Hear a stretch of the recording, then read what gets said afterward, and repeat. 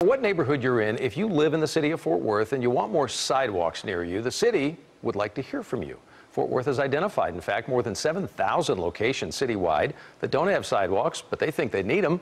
20 are currently a top priority, but you can request a sidewalk where you live by simply calling in. Fort Worth wants you to call the main call center. The number's on your screen there, 817 392 1234.